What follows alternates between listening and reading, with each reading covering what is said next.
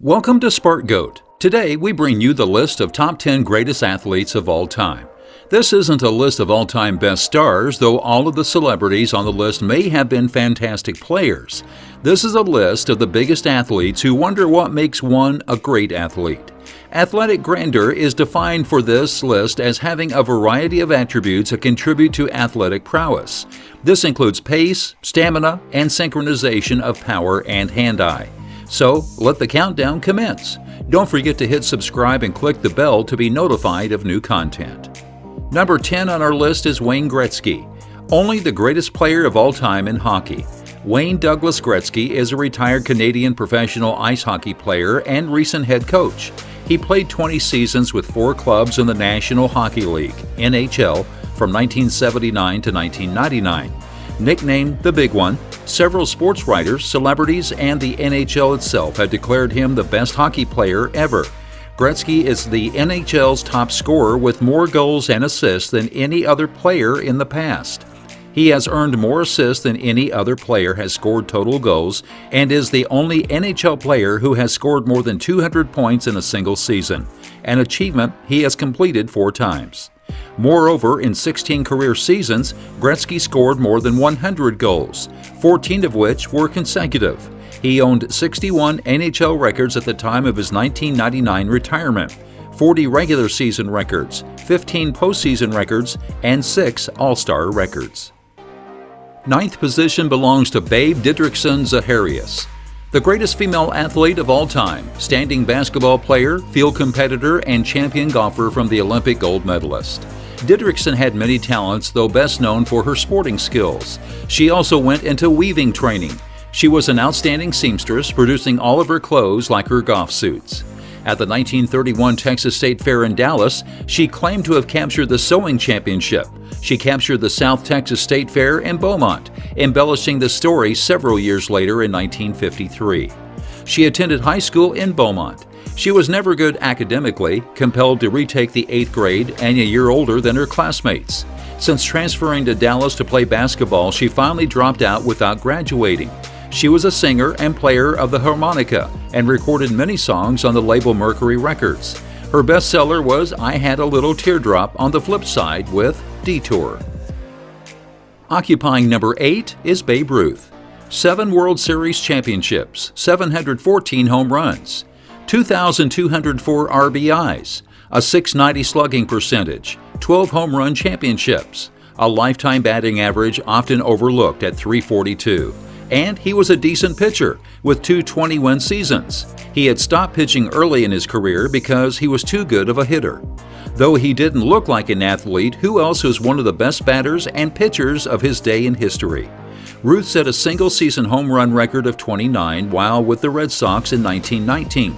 That turned out to be just the start of a string of Ruth's record breaking achievements. He'd hit 54 home runs in 1920, his first year in New York. He shattered his own record in his second season by hitting 59 home runs, and Ruth had made his name as the all time home run leader for baseball in fewer than 10 seasons. Seventh on the long is Deion Sanders. Sanders was a consistent All Pro and one of the best pass defenders ever to play the position during his 14 year NFL career. Sanders, too, mostly coordinated with the aggression of his squad. Sanders missed the baseball season during the 1996 season, focused on football, and attended his career's first NFL training camp in order to get more acquainted with the complexities of the wide receiver position. He is just the second two way starter in the NFL after Chuck Bednarik, after Roy Green of the Cardinals. Sanders was the only guy playing in both a Super Bowl and a World Series, hitting a Major League Baseball home run and scoring a National Football League touchdown in the same week, and getting both a catch and a Super Bowl interception. He's one of two players with six possible ways to score an NFL touchdown interception return, kickoff return, punt return, catching, running, and fumble recovery. Popular with everyone, but sitting on the sixth position is Pele the best football player of all time, Pele, whose nickname is seemingly meaningless, was ignored by big club teams in the city of Sao Paulo after playing with a minor league club at Bauru, state of Sao Paulo. However, he joined the Santos Football Club in 1956, which won nine league championships in Sao Paulo, with Pele in the inside left forward. And both the Libertadores Cup and the Intercontinental Club Cup in 1962 and 63. He became a Brazilian national symbol, also called Perola Negra, Black Pearl. He mixed kicking strength and accuracy with excellent abilities to predict movements from other players. After the World Cup in 1958, the Brazilian government proclaimed Pele a national treasure in order to fend off huge offers from European clubs to ensure he remained in Brazil. He scored his 1,000th goal in his 909th first class match on November 20, 1969. Fifth position belongs to Michael Jordan. In 1984, the Chicago Bulls selected Jordan. He led the league in scoring in his first season, 1984 85 as a player, and was voted Rookie of the Year. After missing much of the following season with a fractured foot, he returned to lead the NBA in scoring for seven straight seasons, averaging about 33 points per game. He was just the second player to score 3,000 points in a single season, 1986 87, after Wilt Chamberlain.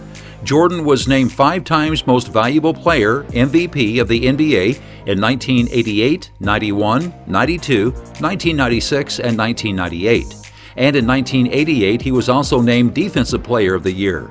Jordan retired briefly in October 1993 after leading the Bulls to their third straight title, and he sought a professional baseball career. In March 1995, he returned to basketball. During the 1995 96 season, Jordan led the Bulls to a regular season record of 72 and 10, the highest in NBA history, broken by the Golden State Warriors in 2015 and 16. The Jordan led Bulls again won three championships in a row from 1996 to 1998, and each time Jordan was named NBA Finals MVP. Jordan left again after the 1997 98 season.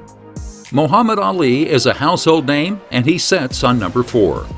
Clay has been better known for his charisma and attitude than for his fighting skills in his early fights as a professional. By reading childlike poems and spouting self descriptive phrases such as float like a butterfly, sting like a bee, he sought to raise public interest in his games. He told the world that he was the best, but the harsh reality of boxing seemed to suggest otherwise. Clay angered the sport's devotees as much as he impressed them. He kept his hands unconventionally low, backed away from punches instead of bobbing and spinning out of risk, and seemed to miss the real knockout strength. He was best in competitors who were a combination of veterans who had long gone past their peak and players who had never been anything than mediocre. Purists screamed as Clay anticipated the round in which he intended to knock out a rival, and when he did, they grimaced and bragged about the new victory. Third place goes to Jim Thorpe a man's 6'1, 180 pound wall. He was a two time All American football player at Carlisle and was named the country's best football player, his favorite sport, although at the time there was no award. He led Carlisle to an 11 1 record in 1911, then carried them to the 1912 National Collegiate Championship, scoring 25 touchdowns and 198 points. He has played four positions running back, defensive back, place kicker, and punter. Also in 1912, he effortlessly won the gold medals in the pentathlon and decathlon at the Summer Olympics in Stockholm, Sweden, winning an incredible 8 of the 15 individual events that were part of both competitions. Thorpe's 8,413 point Olympic record in the decathlon has stood for almost two decades. He even starred in the track and field, was a successful baseball and lacrosse player, and also won a prize for dancing in the ballroom all while at Carlisle. At different points in his life, he also dabbled in competitions of boxing and basketball. He went on to become a professional football star, although there was no official league until 1920, retiring in 1928 at the age of 41. Second on our list is Bo Jackson. A phenomenal college football player at Auburn University, Heisman Trophy recipient, ran for 4,303 yards and 6.6 yards per carry average, a very good professional baseball player, all star, batted 250, 141 home runs, 415 RBIs, 474 slugging percentage, and a big arm, who had a decent professional football career that was just too short. He ran for 2,782 yards, averaging 5.4 yards a carry. It must have been mind boggling to see what he might have done in all sports without the injuries. Guess what? Jim Brown is our number one. He won 13 letters in high school playing five sports football, basketball, baseball, lacrosse, and track. He has won All American honors in both football and lacrosse at Syracuse University. He has been the top player in the world in both sports by some reports. In lacrosse, when leading Syracuse into the National College Lacrosse Championship, he led the country in scoring. Brown is a member of both the Halls of Fame and the Lacrosse Hall of Fame college and professional football team. Imagine, this is a guy who could have been the best in two totally different sports who ever existed. Hope you enjoyed the video. Which one is your favorite? Comment down below and let us know for regular updates.